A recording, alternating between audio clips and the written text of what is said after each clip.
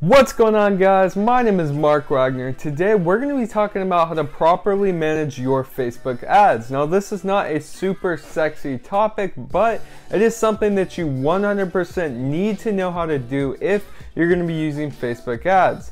Let's hop right into my computer and get into the value.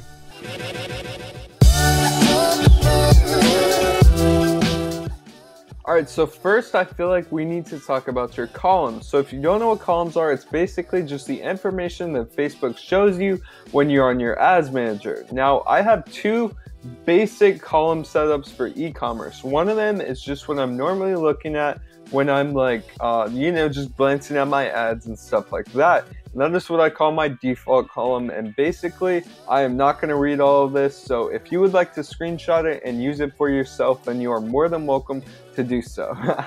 So my other column is my data column, uh, which again, I am not going to read out, but um, basically that's just for when I'm about to kill an ad or about to scale an ad or I'm running a video view campaign and I need to see the results for that. And it just gives you a lot more information that you really don't need if you're just quickly glancing at your ads. All right, so like I said, when you are just quickly glancing at your ads, I would use the default column layout, but you can also use data if you want to look at all the information. So I generally tend to look at the past five days, and then um, if I am going to be doing something with the ad, like scaling or killing it, then I'll look at the past three days and the past like seven days generally. Uh, I don't know if you can hear that thunder, but I'm sorry about it in advance.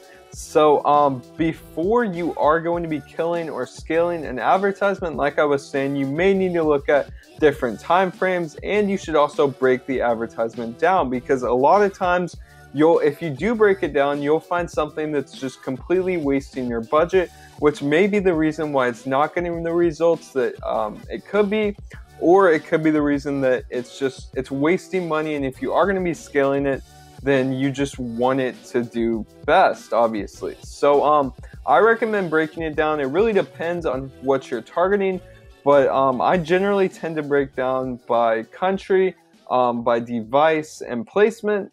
And um, if my ad set is targeting like a broader age range or a broader gender, um, then I will break it down by those as well. All right, so this is a common question that I get asked, and it's basically just when you should give up on a product. And that answer really depends. Um, but as far as Facebook goes, at least, and I really recommend that you just test and you kind of have to spend like three or four hundred dollars um, until you can get a good idea of like the product. So um, before you give up on a product, I recommend that you test at least two different ad copies, uh, which is just basically the description of the ad. I recommend that you test at least three different video ads. That is going to have a huge impact on how well your product does. Personally, I test at least 10 interests before giving up on a product, but that's because I don't do normal interest-based targeting. If I am just doing interest, which some people do, I tend to stay away from that um, then you need to test way, way, way more than 10. But for me, I try to test at least 10 if I'm going to be doing the video view lookalike audience strategy that I've explained in a previous video that is floating somewhere above my head right now. So, um, like I said, I do use the video view lookalike audience strategy, and I do recommend that you test that before giving up on a product. And I recommend that you test a 95% video view lookalike audience with at least 150,000 people as data. If you don't know what I'm talking about, that is completely fine. Just watch the video above my head or it will be in the description below if you'd like to watch it after you're done with this video. So another reason that you could not be making the sales that you'd like to make is because of your website. Now this could obviously be a ton of factors, but um, the main one is probably the price of the product. As long as your website is good in other ways. So I really recommend that you try testing the price, uh, you know, dropping it down if you're not getting the results that you are. And if you are getting good results, then I recommend that you try testing a higher price. So if you still are not getting really good results, then I recommend that you basically copy your competitors in a way. Now, I really try to stay away from copying their descriptions and their ads and stuff like that, and I still don't recommend that you do that if you're not getting good results. However, if you're literally about to give up on a product, then I recommend that you basically uh, copy a lot of the factors of their advertisement, uh, their website, stuff like that. So I'll take in competitor's ad. Hopefully it's not watermarked. Sometimes you can cover it if it is. Wow, that is loud thunder. Um, but anyway, you can basically just cut up your competitor's video and rearrange it a little bit so you're not going to get any penalties by Facebook.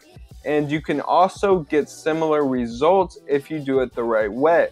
Another part of duplicating your competitor's success is undercutting their price. Now, this isn't completely necessary, but a lot of times when someone is established and they've like built the product well, like they have a ton of data, they're getting a ton of sales, then they're going to be able to charge a premium, especially if it's a one product store.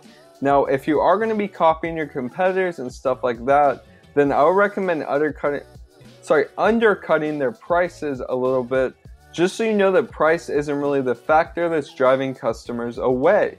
Okay, so now we're going to be talking about when to kill an ad set. So this really depends on the price of your product because obviously if you're selling like a thousand dollar product, then not as many people are going to buy it and you're not going to be able to judge how well your ad set is doing off of spending like 20 $30. So for a normal price product, which I consider to be 20 to $40, that's like a typical range for a drop shipping product, then I would recommend that you kill a product at $20 if it has no sales and not many add to carts and there's not anything in your breakdown that's causing the budget to be wasted. Now, if there is a lot of add to carts or a lot of uh, budget being wasted in certain areas, then I obviously recommend that you fix those areas and I recommend that you spend at least $10 more just to test that ad set and see if your changes made any difference. So like I said before, if your product is lower than $20 or higher than $40, then it really depends when you're want to kill your ad set. Okay, so now we're to be talking about when to know that you've got a winning product. Now, again, this really differs on how you're doing your advertising, how good your ads are, and stuff like that. But one thing I just want to say is that my main winning product that has done over $200,000, probably over $300,000 in sales to this day. Um, it wasn't that great of a product when I first tested it. I had a couple hundred dollar days and stuff like that, which was pretty good for me at the time. But um, it just it wasn't like a winner, you know. And then I found a really, really, really good ad, which is probably like the fifth or sixth ad that I tested for that product, and it just took off. That's when I hit my first like three, four thousand dollar day. Um, it was crazy. So uh, the ad can really have a huge impact on how well your product does. So if your competition is selling the product successfully, for example, they have tons of ads with millions of views, then you obviously know that the product is working. However, if you have tons of competitors and tons of views and uh, just everyone's seen the product, the ads are months old, um, then your product could be saturated, which is obviously going to um, hurt your success. Determining the saturation of a product is really going to um, be an acquired skill.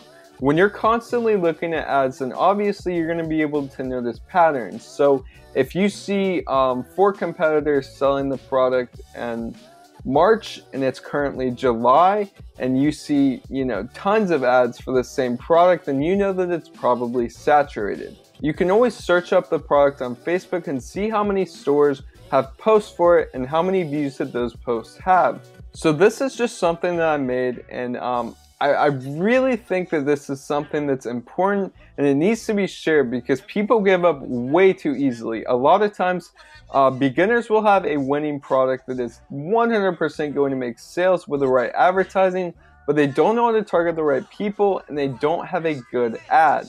And um, as you can see here, if you have a bad ad and bad targeting and a winning product, you're probably not going to get any sales. If you have a decent ad and decent targeting and a winning product, then you're going to get a decent amount of sales. But, and this is where the real money is made, if you have a great ad with great targeting that is data driven and you have a winning product, then it is going to be a true winning product and you are going to be able to get a ton of sales.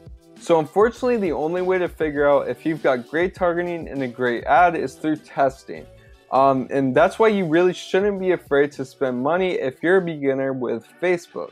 Don't spend too much money on stupid stuff, but again, never be afraid to test and never be afraid to lose a little bit of money. Okay, so for scaling and descaling an ad set, this is something that I made a complete video about that's a lot more in depth, but I'll just talk about it really quickly.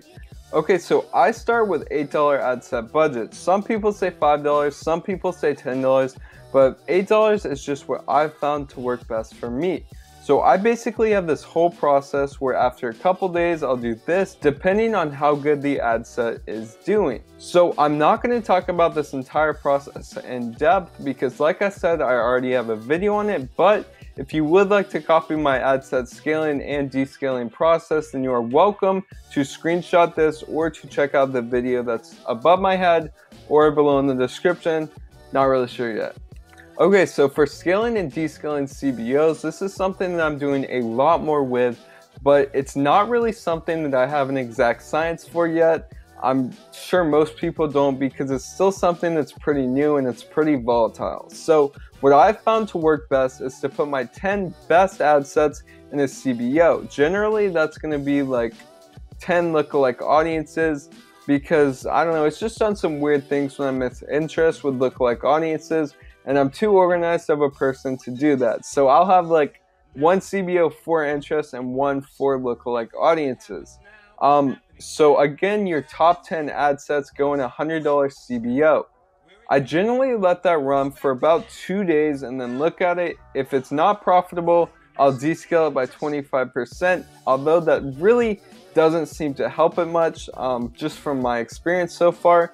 And if it is profitable, then I'll just keep it at the same level because I, again, it's pretty volatile. So if it is still profitable after five days, then I'll scale the CBO 50% and just repeat that process until it becomes non-profitable. Alright guys, I really hope you enjoyed this video. Hopefully you were able to take a lot of value bombs out of this that help you with your Facebook ads.